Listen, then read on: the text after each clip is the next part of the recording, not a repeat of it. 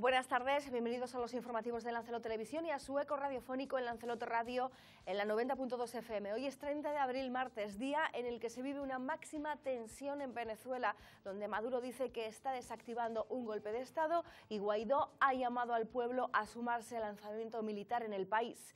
Además de este titular preocupante a nivel internacional, estos son otros titulares destacados del día. El conocido como el Guati se ha enfrentado esta mañana a un juicio por violencia de género por el que se le pide seis años de cárcel.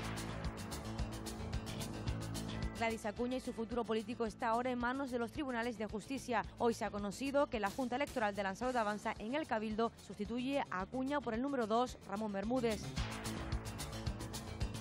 La alcaldesa de Recife, Eva de Anta, expulsa en el último pleno al representante de la asociación LGTBI.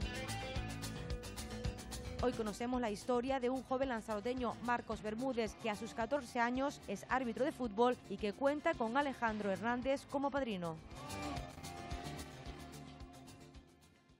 El Guati, un delincuente habitual que recientemente fue detenido tras una espectacular persecución al final de la calle Triana, ha tenido que sentarse en el banquillo de los acusados por un caso de violencia de género. Le piden seis años de prisión por amenazar a muerte a su expareja. José Guatatibot Rodríguez, más conocido como el Guati, se enfrentaba esta mañana en los juzgados de Recife a seis años de prisión por el juicio que aborda la audiencia provincial en el que se le juzga por los delitos de detención ilegal y amenazas leves en el ámbito de la violencia sobre la mujer. Los hechos se remontan a octubre de 2016 cuando el acusado acudió a la casa de su pareja y la obligó a meterse en un coche bajo amenazas. El propio acusado reconocía hoy que iba bajo los efectos de las drogas y mientras conducía la amenazaba de muerte y conducía de forma temeraria hasta la ermita de las Nieves. Ahí la víctima pudo, en una frenada del vehículo, zafarse y escaparse. Yo paro el vehículo, ella se va a alta, posiblemente tengo que reconocerlo, a lo mejor después de dos años yo reflexionado, posiblemente haya pasado miedo en el trayecto porque por la forma mía de hablar o, o por eso, no por amenaza ni nada, estoy suponiendo por qué se bajó. No estoy diciendo que pasara miedo hubiera pasado mío, se podría haber bajado 20 cruces más atrás. Yo lo que le estoy diciendo a este Ministerio Fiscal es que cierto es que yo el vehículo, hasta ahí es cierto, y ella se baja. Yo me bajo y reacciono así, porque yo estoy embotado entre las pastillas y, la cocaína. Y luego le digo, ah, perdona, perdona, perdona, dice, déjame pasta, pasa de mí, olvídame. Y se va. Y se llega a caminar. Destacar que José Guatatibor Rodríguez ya fue noticia no solo en Lanzarote, sino en los medios de comunicación nacional por esta persecución grabada tras supuestamente haber perpetrado un robo con violencia en una vivienda junto a un cómplice y ser perseguido por las calles de Recife hasta su detención. El pleno de Arrecife ha sido suspendido por la alcaldesa de Arrecife, Eva de Anta, que se ha ausentado del pleno junto con el resto de miembros del grupo de gobierno y los ediles transfugas del PIL. El motivo ha sido que un representante del colectivo LGTBI ha tomado la palabra sin haberlo solicitado previamente para pedir que se les abone una ayuda por la que esperan desde el 2017. Pero yo quiero que la alcaldesa. Bien, perfecto. Que no, no se trata de eso. Este es el momento en el que la alcaldesa abandonaba el pleno suspendiendo la sesión cuando un representante de la asociación Lánzate tomaba la palabra para pedir que se le abonara una ayuda de 5.000 euros que esperan desde 2017 por los actos de celebración del Día del Orgullo. Fui y dije, mira Eva, esto es lo que hay. No le gustó, me echó, llamó a la policía, me echó y me dijo que si yo no salía del pleno por, por voluntad propia, me llevaban esposado. Digo, me da igual, espósame que yo voy a que yo de aquí del pleno no salgo. Pese a que la policía le pidió que abandonara el pleno porque no había pedido una comparecencia previa, Betancor logró explicar sus quejas ante la oposición y dijo que ha actuado a la desesperada. Si yo no voy al pleno, no sé cuándo, cuándo vamos a cobrar. Voy al pleno como última eh, voluntad ya, como eh, parte política, a ver si hay alguna voluntad, si existe algo en Neve de Anto, como presidente que fue de la asociación, a ver si queda algo de, de corazón de decir, venga, voy a, voy a pagarles ya, porque si no lo paga ahora, ya sería después de la legislatura siguiente la que entraste a gobernar, pidiéndole por favor que abone la deuda que tenía eh, adquirida con, con, la asociación. Sin embargo, lamenta que Eva de Anta, pese a haber sido presidente incluso de esta asociación que lucha por los derechos LGTBI, ahora les ignore. Que, que encima me haga esto como decir, Eva, que estuviste la presidenta de la asociación, la montaste, o sea que no sé lo que te pasa, te estás dando la espalda a lo que es a, la, a, a tu propia asociación Pero ella se levantó, se fue y sacó todo el grupo de gobierno. Menos la oposición que se mantuvo y dijo, bueno, ya como no hay pleno, habla y cuéntanos nosotros. Betancor mantiene que ha recibido presiones por los impagos del Ayuntamiento de Recife porque hay más de 12 personas afectadas. Presión sí he recibido por la parte de, de los premios que nos ha abonado, como lo que es rayones en el coche, tirada de huevo en mi casa, rompida de cristal en el coche. Vamos, yo tengo un coche ya que ya prácticamente le digo el, el, mulato, porque está, está tan, tan herido el pobre que ya no sé ya ni cómo poner un, un, nombre. Y a esto hay que añadir otro colectivo descontento. Cuando ya empezaron a conocer los de la que el ayuntamiento tampoco no, nos abonaban a nosotros el dinero, pues ya empezaron a decir, es que a mí tampoco, es que a mí tampoco, es que a mí tampoco. Y ya cuando se enteraron de que yo iba a ir hoy al, al pleno del ayuntamiento de Recife, empezaron a enviar WhatsApp, por favor de lo mío, por favor de lo mío, que hay de la de 2014 que no han cobrado ni un céntimo. Tras el incidente con Lánzate, Coalición Canaria y PP decidían abandonar la sesión plenaria y no han regresado pese a que una de las mociones del día estaba vinculada con la reprobación a la primera edil socialista. Precisamente el Pleno de la Capital ha debatido hoy esa moción sobre la reprobación a la alcaldesa que había presentado Unidas Podemos. Finalmente, solo Leticia Padilla y Somos Lanzarote han votado a favor de esta moción, mientras el grupo de gobierno ha tachado a la concejal de la formación morada de electoralista y de buscar, como siempre, un titular. Unidas Podemos había anunciado la reprobación de la alcaldesa en el último pleno del mandato, pero al final su moción no ha salido adelante porque solo ha votado a favor la propia Leticia Padilla y los concejales de Somos Lanzarote, mientras se han abstenido el concejal de Unidas Podemos, Daniel Cabecera, y Ciudadanos, una actitud que vuelve a demostrar que la formación naranja se ha plegado al Partido Socialista en un pacto de no agresión, según ha denunciado la propia Padilla. Me reitero, es usted un fraude señora alcaldesa. Es un fraude porque promete aquí pleno tras pleno, pleno tras pleno, promesas que nunca cumple. Nunca. Esto se llama fraude. Cuando aquí promete informes que no da, cuando aquí promete comisiones que nunca convoca, cuando aquí se promete mesas de trabajo que a las que nunca hemos podido tener la oportunidad de asistir, es un fraude. Es mentira y es un fraude. Y usted, al aprobar todas las mociones presentadas, convierte este pleno en una pantomima, completamente. Porque una moción aprobada es la apertura de un expediente. Y nosotros hemos solicitado desde hace muchísimo tiempo ya, hace mucho tiempo, en qué estado se encontraban las mociones aprobadas en este pleno. Guste o no, sean ejecutables o no, díganoslo. Nada más. Para Padilla y para Somos es un fraude que no se aprueben mociones que luego no se ejecutan. Vamos a votar a favor de esta eh, reprobación como un mecanismo de higiene democrática para que se ponga sobre la mesa en los próximos eh, gobernantes de la corporación que no se puede levantar la mano por inercia, que no se puede aprobar todo porque sí, sino que tiene que tener una traslación real en la institución. La alcaldesa iniciaba su intervención con un Estimada doña Leticia,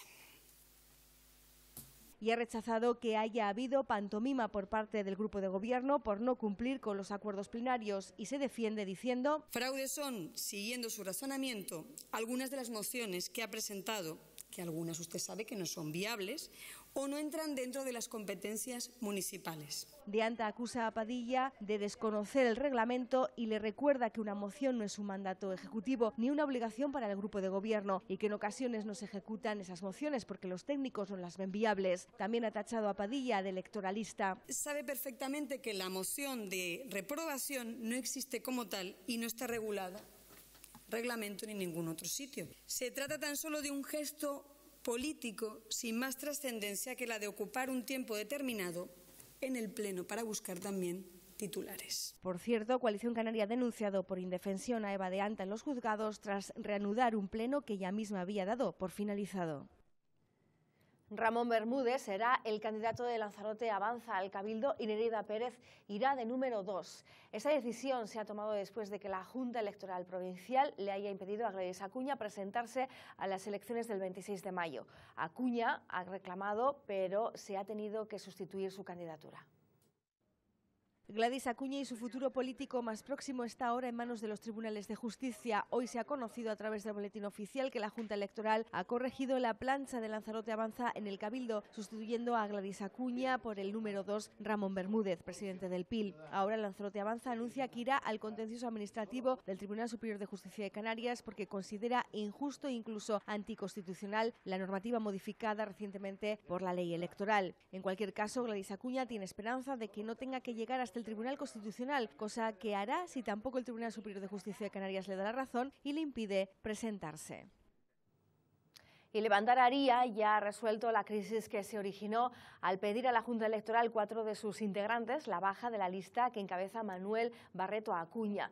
Estas cuatro personas afines a Juan Ramírez ya han sido sustituidas por otras cuatro personas más cercanas al candidato, por lo que desde esta formación se anuncia que se sigue con los mismos propósitos de dar un cambio en el municipio norteño.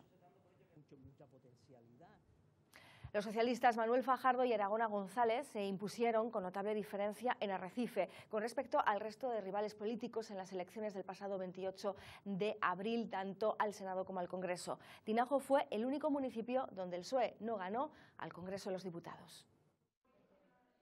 De cara a las elecciones municipales, insulares y autonómicas, a los partidos políticos les interesa comprobar cómo se ha distribuido el voto por municipios. Y aunque muchos creen que hay diferencias entre las generales y las del próximo 26 de mayo, la tendencia de voto podría rediseñar muchas estrategias. El Partido Socialista, por ejemplo, al Senado ganó en cinco municipios insulares, siendo Arrecife donde más apoyos recabaron. Coalición Canaria al Senado demostró arrastre en Aría y Tinajo, mientras el candidato de Unidas Podemos, pese a ser un desconocido, lograba ser segunda fuerza en San Bartolomé Yeiza y tercera en Tías. Al Congreso, el PSOE ganaba en todos los municipios, a excepción de Tinajo, donde los nacionalistas lograban imponerse por 21 votos. En Tías, el Partido Socialista le sacó a la segunda fuerza más votada al Partido Popular 558 votos y Coalición Canaria se colocaba como la tercera fuerza rozando el millar de votos. En Teguise, Coalición Canaria lograba ser la segunda fuerza tras el Partido Socialista y Podemos se colocaba tercera con 1.569 votos. En Aria, los apoyos se los llevó el Partido Socialista y Coalición Canaria quedó como segunda fuerza. Ciudadanos solo consigue ser tercera fuerza más votada en San Bartolomé y Yaiza. Vox logra al Congreso unos 3.000 votos, superando los 1.500 votos en Arrecife, rozando los 700 en Teguise y los 600 en San Bartolomé, pero se queda muy lejos de sus propósitos de dar la sorpresa y tampoco se cree que estos datos puedan traducirse en cargos públicos a partir del 26 de mayo. En resumen, SOE, Coalición Canaria y Ciudadanos fueron las formaciones que más votos cosecharon porque Podemos perdió apoyos mientras el PP logra su mejor resultado en votos en Tías.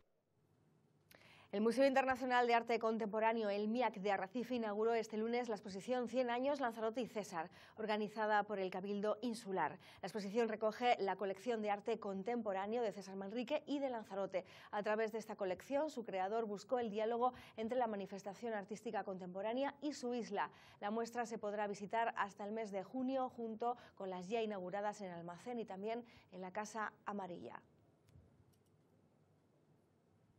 La agrupación folclórica de Guanapá y de la Villa de Teguise celebró el pasado sábado su vigésimo quinto festival y concurso de coplas, que este año llevaba por lema al son de las ocho islas. El acto contó con la actuación de la parranda base, que está conformada por tocadores y cantadores de todas las agrupaciones folclóricas del archipiélago, así como de varios solistas de cada una de las islas. Guanapay también aprovechó la ocasión para rendir homenaje al artista César Manrique.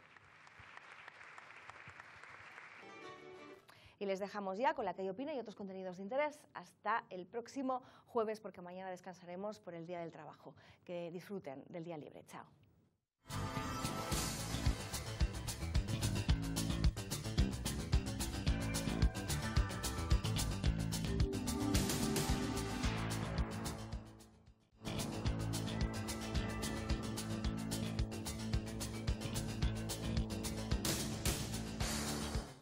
El Partido Socialista ha ganado las elecciones, el Partido Popular ha perdido y Coalición Canaria ha aumentado el número de votos en comparación a las pasadas elecciones. Hoy salimos a la calle para conocer la opinión de los lanzarteños sobre los resultados electorales en la jornada de ayer domingo. Lo bueno para Canarias había sido que, que, que, Coalición Canaria había sacado más diputados, pero siempre está hecho el voto a mucha gente, yo uno de ellos he dado el voto útil no confieso con el PSOE, pero he dado el voto útil al PSOE. Todo lo que hemos visto estos años para atrás, yo creo que sí que lo beneficia, más que si hubiera ganado otro partido. Coalición Canaria creo que ha subido eh, de las últimas elecciones que ha tenido, creo que eh, ha incrementado los votos y, y bueno, y yo creo que es una buena noticia y que el, el, PSOE también que, gobierne, porque no creo que sea una buena noticia, pues el tema de, las derechas, de Vox, el tema este, que, la verdad que no lo entiendo, que aquí en Lanzarote 4.000 personas hayan votado Vox, la verdad que es que no, no, no sé qué, qué, programa habrán leído de, verdad de este partido. Y, la derecha ya sabemos que, la derecha lo que hace es pues ayudar a los bancos, ayudar a los empresarios y, no se ocupa del tema social, no se ocupa de, los ciudadanos y lo que les interesa es privatizar todo. Y la verdad que creo que es una buena noticia para Lanzarote y luego que Coalición Canaria pues es un partido que, que sabemos todos que está defendiendo Canarias y bueno, y que es importante que esté también ahí en, el Parlamento. en estas elecciones creo que tenía que ganar una izquierda, como es el Partido Socialista o, Podemos, no sé, y yo soy anticoalición, total. Radio Marca Lanzarote 104.5 FM, la radio del deporte. Todo el deporte local de lunes a viernes de 13 a 14 horas. La radio del deporte en Radio Marca Lanzarote.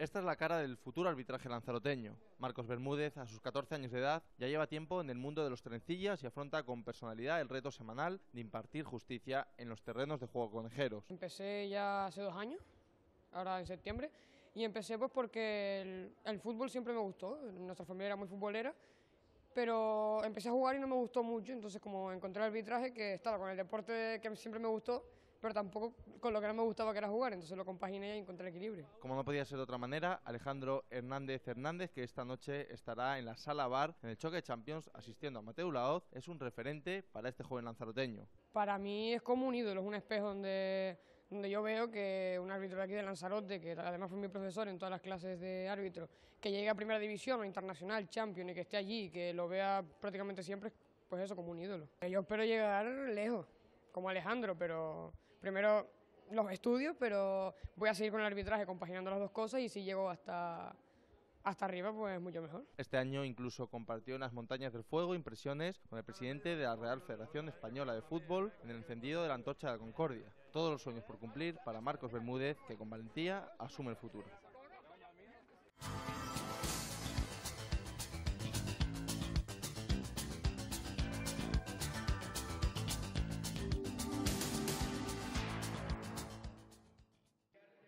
Carlos Brito y Pedro Gil se proclamaron vencedores en la cuarta jornada de la fase regular de los eSports que se disputó la jornada dominical en el centro comercial Dayland. Concretamente Brito fue el mejor en la competición de NBA 2K19 3x3 y Gil el vencedor en la disputa paralela del FIFA 2019 con lo que ha conseguido pleno de victorias en este videojuego. La jornada ha estado marcada por el inicio de la competición de 3x3 Street Basket, una categoría femenina que ha sido dominada por el League of Legends. El evento volvió a contar con la colaboración de Radiomarca 104 como partner oficial para alcanzar mayor visibilidad en Lanzarote y en el archipiélago. El próximo domingo 5 de mayo, más y mejor, puede inscribirse en la quinta jornada a través de las webs oficiales del evento.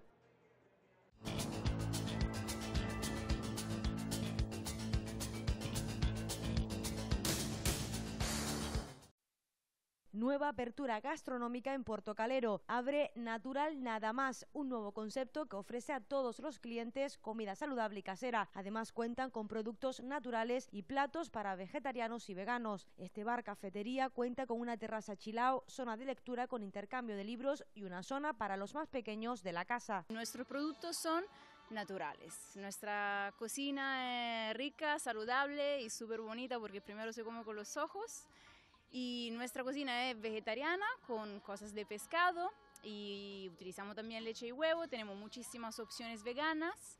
Tenemos productos, somos por ahora los únicos en Lanzarote, como el Beyond Burger, que realmente está delicioso y es nuestra hamburguesa estrella.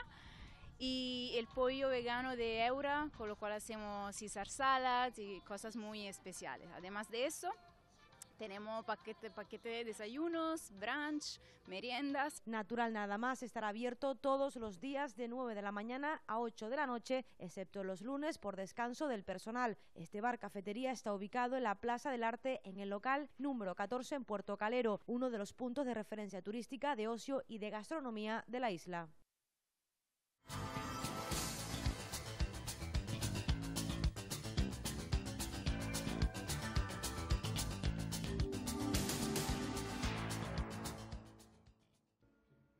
Clínica Dental Doctor Medina cumple 50 años al servicio del público canario que generación tras generación ha confiado en su buen hacer en tratamientos de odontología. A día de hoy es una de las pocas clínicas en Canarias con tantos años en activo. Su historia se inicia en 1969 cuando el doctor Pedro Medina comienza a ejercer en solitario como único dentista en Lanzarote y Fuerteventura. Durante varios años recorrió todos los pueblos de la isla conejera para atender a los más desfavorecidos. Tiempo después, Medina se convirtió en jefe del servicio estomatología del Servicio Canario de Salud en Lanzarote y Fuerteventura. La clínica también se ha convertido en un referente de la odontología en España. En la actualidad cuenta con un gran equipo de profesionales en las diferentes áreas de la odontología, realizando todo tipo de tratamientos. Ahora son sus hijos quienes han cogido el relevo con la misma ilusión y profesionalidad.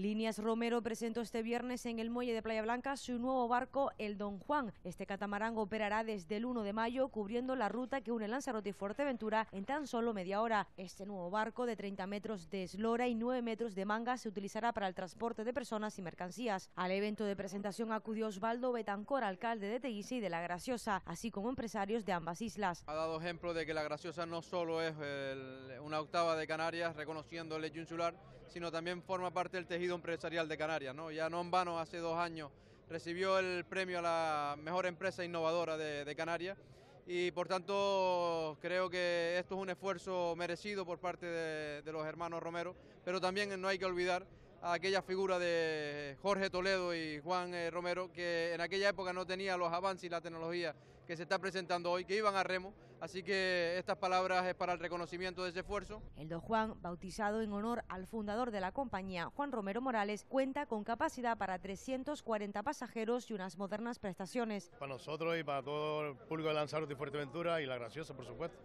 significa mm, una gran apuesta por la tecnología, por la comodidad y la facilidad de, de viajar y menos tiempo, ganamos en tiempo, comodidad, Este catamarán supone una mejora en la oferta de líneas Romero. El Don Juan contará con cinco salidas diarias de lunes a sábado desde Playa Blanca y otras cuatro los domingos. Por su parte, el graciosero cubrirá la misma línea con salidas de lunes a sábado a las 8 de la mañana y 10 y media de la mañana.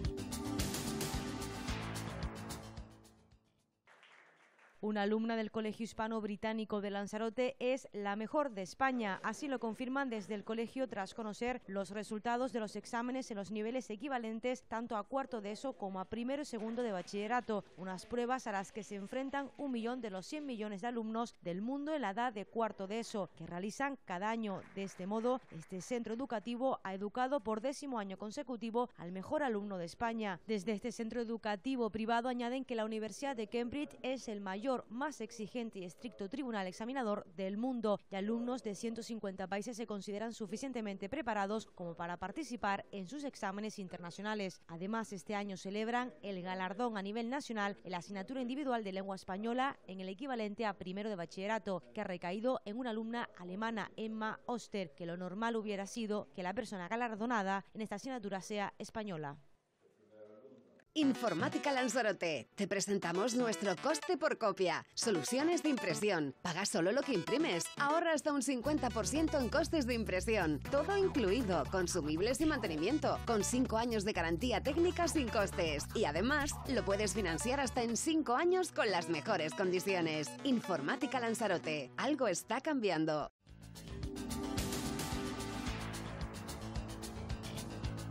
Para hoy martes 30 de abril, predominio de cielos poco nubosos o despejados, con algún intervalo de nubes altas tendiendo a desaparecer al final del día. Las temperaturas registrarán pocos cambios o un ligero ascenso y oscilarán entre los 25 grados de máxima y los 17 de mínima. El viento soplará del nordeste, más intenso en zonas del interior durante la madrugada y a última hora de la tarde. En el mar norte, fuerza 4 o 5, marejada. Localmente, fuerte marejada. La bajamar será a las 5.40 horas y a las 17.50. La pleamar será a las 11.53 y a las 0.01. Para mañana miércoles, día nuboso, ligero descenso de la temperatura y ligero incremento de la fuerza del viento.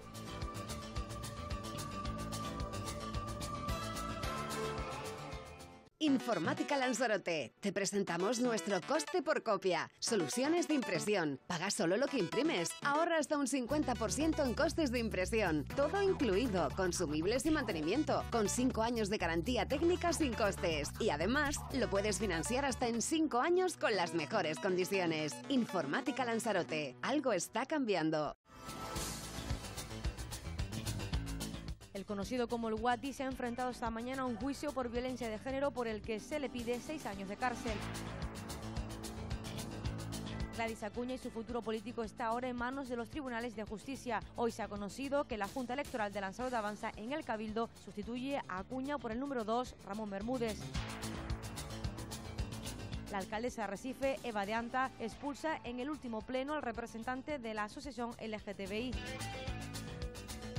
Hoy conocemos la historia de un joven lanzaroteño, Marcos Bermúdez, que a sus 14 años es árbitro de fútbol y que cuenta con Alejandro Hernández como padrino.